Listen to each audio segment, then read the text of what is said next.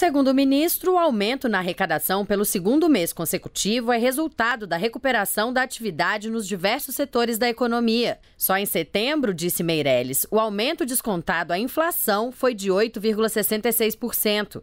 E de janeiro a setembro, o desempenho da arrecadação foi o melhor dos últimos anos.